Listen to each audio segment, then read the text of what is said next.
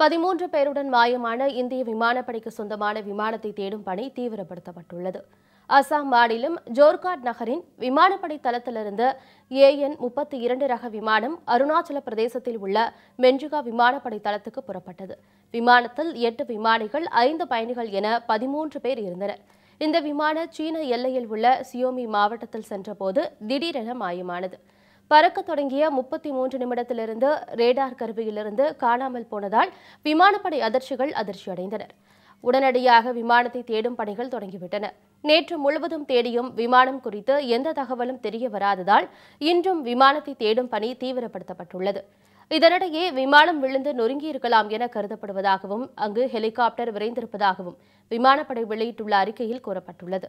வான்வழி மட்டுமின்றி தரைவழியாக தேடும் பணியும் நடைபெற்று வருவதாகவும் தெரிவிக்கப்பட்டுள்ளது.